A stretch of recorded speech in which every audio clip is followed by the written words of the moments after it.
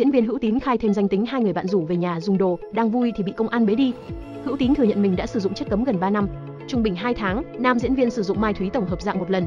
Theo VN Express đưa tin ngày 1 tháng 11, cơ quan cảnh sát điều tra công an quận 8, thành phố Hồ Chí Minh hoàn tất kết luận điều tra, đề nghị viện kiểm sát nhân dân cung cấp truy tố diễn viên Hữu Tín, 35 tuổi về tội tổ chức sử dụng trái phép chất ma túy, khung hình phạt 7 đến 15 năm tù.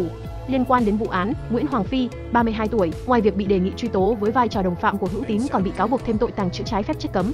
Theo kết luận điều tra, Hữu Tín thuê căn hộ ở quận 8, sống cùng bạn gái và Phi. Giữa tháng 5, Phi cùng bạn đi hát karaoke ở quận 5 và sử dụng đồ để bay lắc. Tan tiệc, Phi mang số mai thúy còn dư về cất tại phòng ngủ.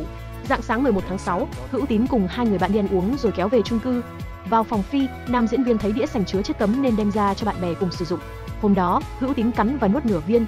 Lúc sau, Phi đi làm về lấy thêm đồ đưa cho một người trong nhóm sử dụng, đồng thời chỉnh nhạc cho hưng phấn.